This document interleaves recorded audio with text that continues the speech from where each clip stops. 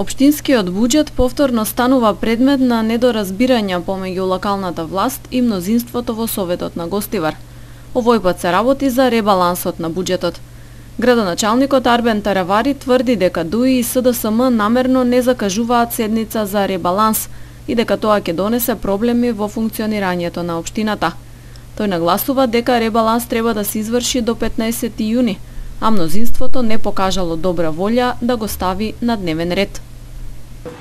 Нели треба да се направи ребаланс на буџет и веќе 10 дена ги молиме, буквално ги молиме, за да се стави на дневен ред Советот ребалансот на буџетот. Не велиме дека треба да се гласа, не велиме дека треба да се прифати, едноставно да се дискутира, меѓутоа тие повторно, како пред две години кога не кочеа да се изгласа буџетот, како пред 7-8 месеци кога се гласаше вториот буџет, повторно старата игра. Јас се надевам дека ние ќе продолжиме со нашата работа, иако ова ќе биде огромна пречка во функционирањето, секојдневното функционирање на општината. Во телефонски разговор председателот на Советот Насир Муслиу, кој доаѓа од редовите на ДУИ, рече дека не се работи за никакво кочење на општината, туку дека се бара соодветен термин за седница. Ние разговаравме со градоначалникот и тој инсистираше да се закаже седница на 6 или 7 јуни, што се покажа невозможно, со оглед на тоа дека повеќе советници не се во гостивар тие денови. Разгледуваме кој датум понатаму ќе одговара. Не вршиме никакви обструкции, рече Муслиу. Откако Таравари седна на градоначалничката фотелја, а мнозинството во Советот падна во рацете на Дуи, буџетот на Обштина Гостивар редовно е жешка тема. Во 2018 година препукувањата меѓу двете страни резултираа со недонесување на буџетот во предвидениот рок и општината отиде на мерка времено финансирање три месеци. Буџетот пак за 2019 година беше изгласан во последниот рок на 31 декември 2018 а на целиот процес на донесување му предходеа безброј закачки и несогласувања.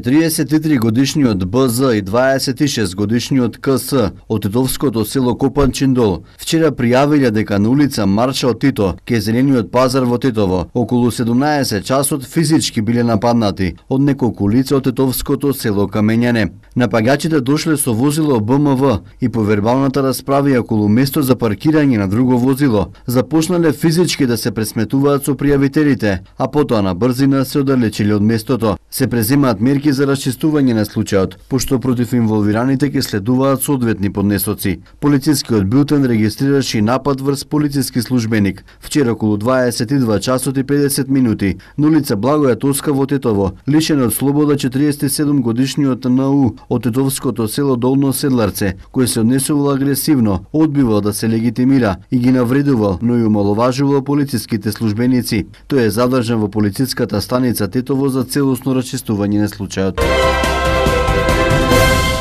Денешниот празник посветен на светиот цар Константин и светата царица Елена традиционално се прослави во патроната црква во местноста Честодубје во Вратница. Света литургија отслужи Протамирко Станковски, кој во беседата истакна дека царот Константин Велики и неговата мајка царица Елена, Светата црква ги прогласила за светители и рамноапостолни, поради нивните заслуги во признавањето и ширењето на христијанството. Во 313 година царот Константин го издал Миланскиот едикт со кој се одобрувала и христијанската вера. Во 323 година станал единствен господар на целото Римско царство и за овие успеси јавно пред а, светот а, искрено му благодар на Господа Бога. Во 325 година го свикал првиот Вселенски собор во Никеја, на кој било утврдено православието, а е осудена аријевата Ерес. Утврден е и символот на верата, точното исповедување на православното учење кој е задолжително за целата Вселенска црква. Во срцето на цар Константин се родила вистинска љубов кон Бога, ја испрати неговата мајка света царица Елена на Аджилак во светата земја во Ерусалим со многу дарови. Почитувајќи го крстот, сакал да го прослави самото живоносно дрво на кое било распината царот и Господ Христос. Блажената царица Елена од еврејното Јуда дознал дека Господовиот крст на кој бил расмет е закован под идолскиот храм на Венера и царицата наредила да се разруши идолскиот храм и да се копа длабоко под него. Луѓето почнале да копаат, од земјата се чувствувало прекрасен мирис, бил откопан гробот, во нивната близина проноште три крста, четирите клинци и таблица со надпис. Кога животниот крст го положили на еден мртовец, тој оживел, воскресал и потоа дознале кој е Христос на Господа Христа. Царицата Елена прва го примила честниот крст, му се поклонила и го селивала.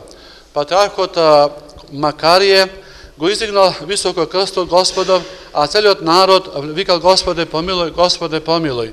Светата царица Елена во светата земја подигнала многу цркви, се вратила во Цариград, носејќи со себе честиците од дрвото на животворниот крст Господов и светите клинци со кои било приковано телото Христово. Светата царица Елена го испуштила свој дух на 80 годишна возраст од својот живот во 327 година. Царот Константин го украсил гробот на Господа Христа, изградил голем храм, се упокоил во 337 година во света 65 годишна возраст во градот Никомидија. Го погребале во Цариград, во црквата на светите апостоли, во гробот што самиот тој го направил, а неговата последна молитва била кон Господа Бога. Сега се чувствувам вистински блажен, зашто имам стврста вера дека сум се удостоил да, за бесметен живот. Умрел, знаете дека Бог му подготвил дом куќа на неракотворна, вечно живелиште во Царството Небесно. По светата литургија беше извршен чинот на мал водосвет, пошто беа прережани кумскиот и славските кулачи, принесени од годинешните кумови. Слава чест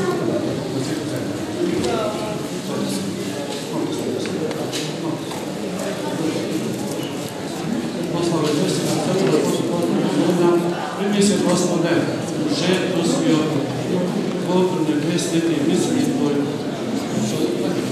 За прославата на празникот традиционално се избираат по 9 кума. Како и секоја година, така и оваа година, значи се собравме во местноста Честодубје, Свети цар Константин и Елена. Овој манастир не сплатува секоја година, значи, и сум многу среќна што и оваа година, како и минатата, сум кума. Uh, има девет кумови, секоја година носиме значи, една голема погача и пченица, има организираме мала трпеза за гостите и сме многу среќни што секоја година сме се попосетени и попосетени. Црковниот одбор продолжува со повеќе активности за создавање подобри услови во кругот на црквата Свети Константин и Елена во Вратница, па така изградија неколку летниковци, а во план е изградба на појата. Ова година, освен црковно народен собир, имаме организирано и присуство на културно-уметничко друштво Извор од Егуновце, заедно со помош на персоналот од основното училиште Симче Настовски, подоцна има изложба на цртежи изработени од учениците на училиштето Симче Настовски.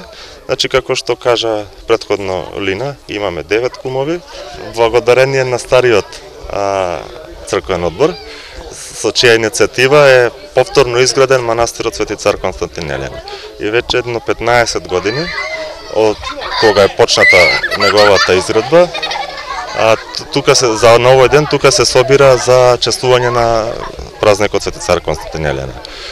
А на тие нас ни оставија а, проект во кој ние во зависност од финансиските средства година на година се пробуваме да го дополниме. Минатата година беа изградени неколку летниковци, а за наредната година во план е изградба на а, се разбира во ако имаме финансиска можност изградба на појата веднаш до манастирот Свети цар Константин Елена. Прославата на празникот беше збогатена со настап на членовите на културно-метничкото друштво Извор од Јегуновце.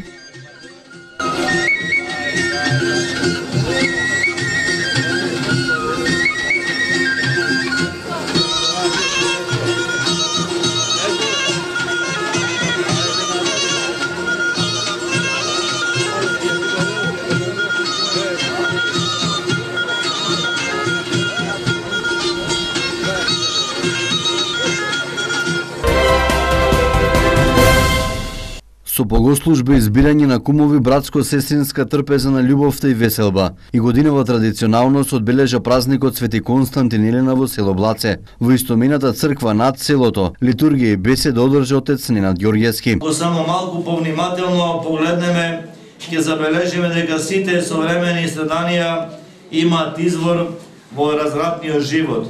Овој свет кој што го одбива крстот Христов, постојано се среќава со оние појави кои се последица на неговата борба против крстот, а тие последици се наркоманија, депресија, блудство, разни други пороци кои се обележени во нашето време. Светот во својата битка мисли дека го победил Бога со тоа што го одбил, но дали тоа е така? Зарем Бог може да биде победен? Зарем да може да се победи они со чија што помош светите ги победуваат демонските напади?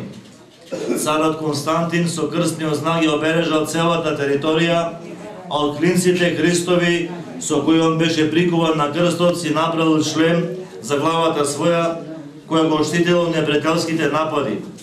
Со својата вера, со крстниот знак во Христа Спасителот, тој ја сотрел сета војска на поробителите на христијаните. Беше избран и новиот кум. А јас сум Боца Богоевска од село Блаце. Пресреќна сум кум, кум паричето го најдов, ми падна, Господ да дава здравје среќа на секогу, тоа е нај најубаво нешто на фамилија на сите. Да, денеска го прославуваме денот на светите цар Константин и неговата мајка царица Елена, значи, а, тука во село Блаце. Ова е едно прекрасно место овдека и стар објект кој е обновен од а, прошлите црковни одбори. Местото е каде што порано било селото, значи овдека горе биле лацирани сите куќи и сите махала од село Блаце, но постепено се проширило селото и луѓе, луѓето направиле куќи доле, па уште на црква и така. Меѓутоа, овде останала традицијата, секоја година го прославуваме денот со кумови, со веселба, со ручек за сите. И мештаните велат дека од секога жителите од ова село имале почит кон ова место. Имаше едно обично крсте и од време си се викаше Цвети Елена и Костадин. Имаше темеличиња каде што тоа дека го турил нели темелов некој со векој, се не викам дека го турил Свети Елена и Константин, пошто га знам и историјата, меѓутоа пак седеше едно брег се веќе време со коњи. Одлучивме тоа време го направја. Покасно го направја и ова, едно малечко, толку ни беа средствата, толку ни е селот, мислам не посоеше пат, ова беше брег, па го рушија и направија. Меѓутоа, сепак место не привлечуваше на некој начин на посебен, како да ти објаснам, многу се млади, значи, кој ќе дојдеш овде, сосеќаш и, и кој ќе пројдеш, како не да ти е срав, него те обзема некоја кавиша сила. За сите присутни беше приредена братско-сестринска трпезна Христос воскресе из мертви, смерти у усмер попра, и сужди во гробје, живо дарова. Од 6 до 9 месецов ќе се одржи осмиот поред традиционален филмски фестивал Watch Out, кој годинава ќе се одржи во музеот на комунистичката партија во Тетово. Годинава за фестивалот има голема заинтересираност. Аплицирале преку 400 учесници од голем број земји од светот.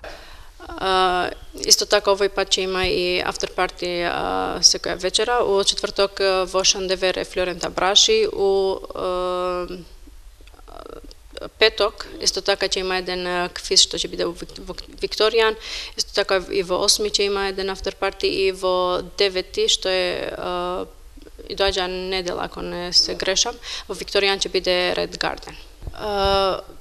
Па филмови ќе има различни филмови, имаме три категории уствари, експериментален и анимиран филм што се една категорија, имаме краток филм и исто така имаме и документарни филмови.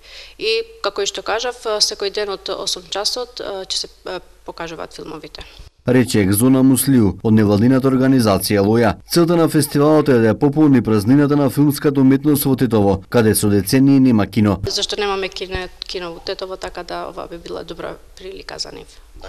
Еве да ни кажете од каде се имаше апликанти, колку апликанти нели аплицира нови филм од кои континенти и на која основа нели се избрае?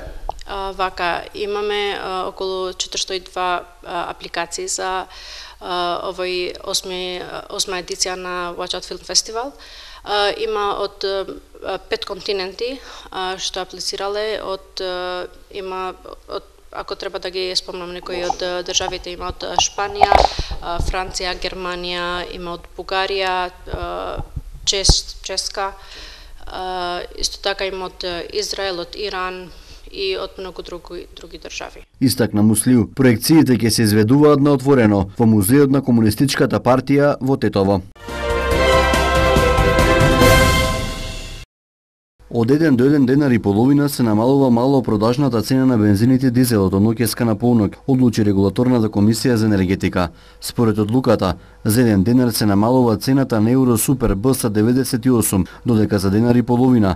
Поевтенуваат Евро Супер БС 95, Евро дизелот екстра лесното масло за домакинство. Новата цена на Евро Супер БС 95 ќе изнесува 69,50 денари за литар, Евро Супер БС 98 ќе се продава по 72 денара за литар, евро дизелот по 62,50 денари, екстра лесното масло 52 денари, малопродажната цена на мазутот М1 НС се намалува и ќе изнесува 35,118 денари за килограм. Со чартер лет на меѓународниот аеродром Скопје денеска во 18 часот и 50 минути ќе слетат ракометарите на европскиот шампион Река Вардар. Тие ќе бидат пречекани од граѓаните, откако сино ќе освоија титулата во Келн во Лигата на шампионите. Отаму се организиран превоз по 20 часот. Ракометарите ќе пристигнат на плоштадот Македонија. ЈСП Скопје соопшти дека ќе обезбеди два двукатни автобуси за организиран пречек на ракометарите на Вардар на меѓународниот аеродром Скопје. Град Скопје пак донесе одлука за организација на официјалниот причек на шампионатот. Покрај тоа, обезбедени и парична награда од 6 милиони денари за ракометниот клуб стои во официјалното соопштение на град Скопје. Од Министерството за внатрешни работи апелираат на достоинствен пречек на ракометарите и најавуваат санкции за било каков вид обид за предизвикување инцидент. Ова е втората европска титула во историјата на ракометниот клуб по освојувањето на ракометната лига на шампиони во сезоната 2016-2017 година. Тимот го повтори овој успех откако успеа да го победи Веспрем во финалето на турнирот во Кјон, веднаш по историскиот пресврт во полуфиналето против Барселона.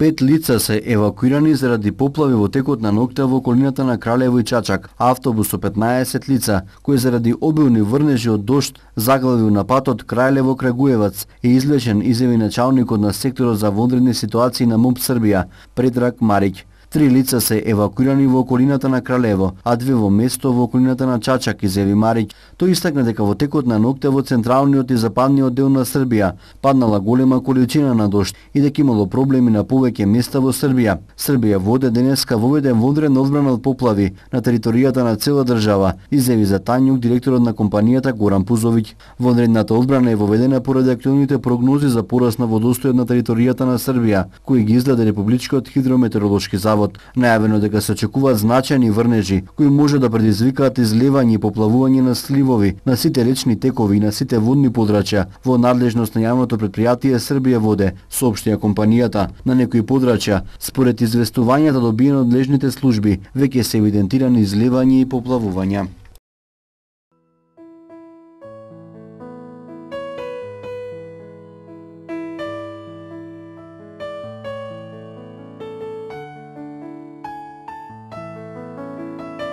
Денеска во Македонија преовладуваше променливо облачно време пред со врнежи од дожд претежно во западните делови. По планивните часови имаше нестабилно време со локален пороен дожд, грмежи повремено засилен ветер и појава на град. Температурите се движа од 7 до 17 степени.